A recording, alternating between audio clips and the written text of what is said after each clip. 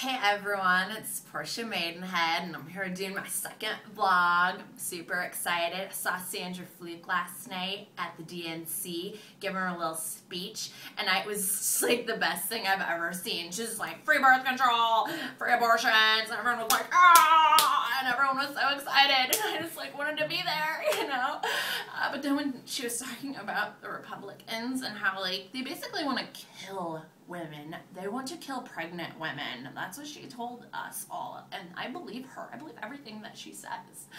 And I see this war on women. I mean, the comments, even on her speech on YouTube, were like, oh, Sandra looks like a retarded Enya.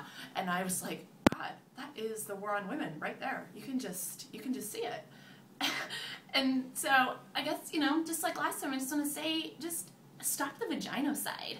I mean, just stop stop the vaginocide war on women and move forward because yes